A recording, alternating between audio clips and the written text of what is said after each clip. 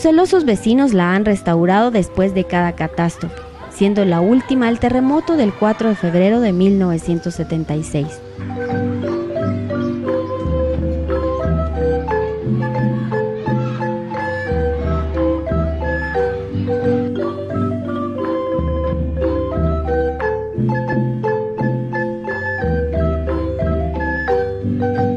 La actualidad se ha ampliado y en la parte poniente se encuentra el presbiterio, con pequeños jardines y una fuente colonial en el centro de su patio.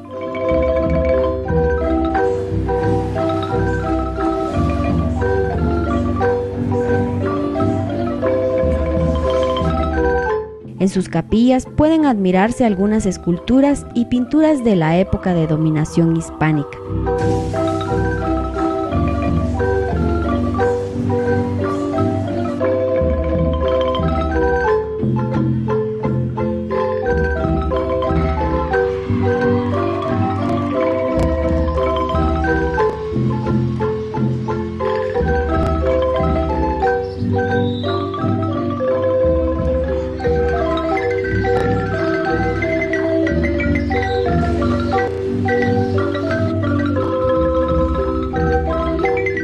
Realmente en esta ciudad no se encuentran muchos vestigios de lo que fue la capital de Guatemala en aquel entonces.